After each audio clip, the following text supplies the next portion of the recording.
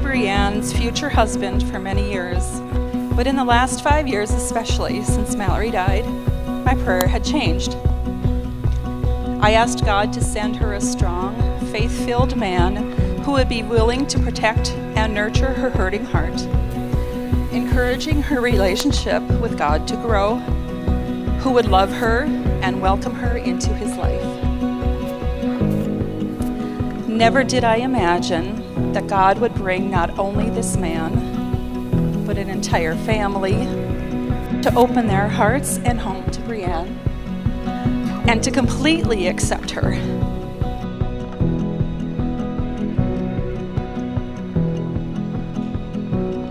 My brother Gavin has and always will be an inspiration for me, whether that be in my faith, relationships, or just being a man overall. I couldn't have asked for a better friend growing up. The amount of adventures we've been on, the many laughs and stories we've had are some of my favorite memories. Gavin and Bree have a pretty beautiful relationship. When I first saw Gavin and Bree together, it, uh, it, it really looked like something out of like a Disney movie. uh, you, you could really tell that they, they truly loved, respected, and cared for one another.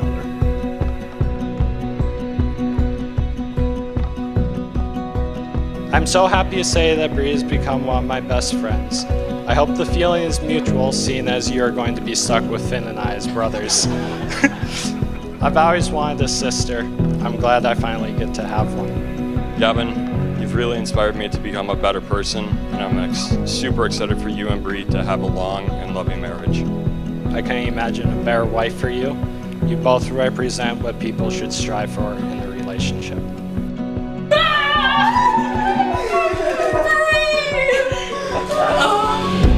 One thing I'll often point out at weddings is that uh, the wedding isn't actually about the bride and the groom, at least not ultimately about them.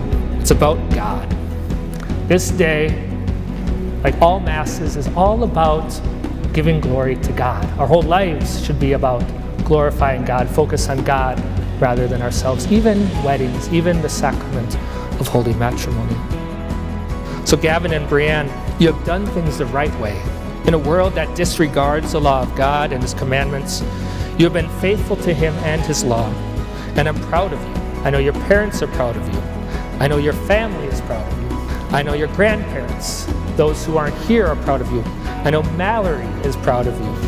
And most of all, and most importantly, your Heavenly Father is proud of you this day. He delights in you, and He takes great pleasure in you today.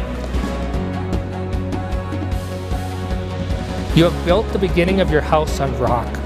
You can go forward with great hope and confidence that the Lord will give you everything you need, not only to persevere, but to thrive in this great adventure, this great vocation, this great life, this great one flesh union. You have been prepared, you have prepared well, and you truly are ready. May the Lord bless these rings, which you will give to each other as a sign of love and fidelity. Amen. Brianne, receive this ring as a sign of my love and fidelity in the name of the Father, and of the Son, and of the Holy Spirit. Gavin, receive this ring as a sign of my love and fidelity in the name of the Father, and of the Son, and of the Holy Spirit.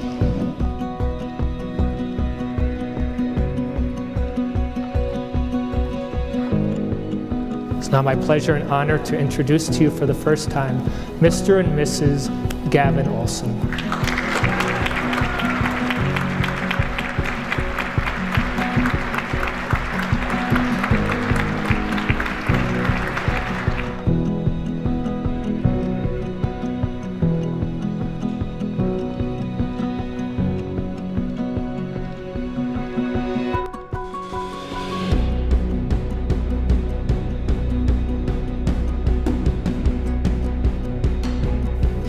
I've witnessed over the past few years of your relationship together has been beautiful and a privilege.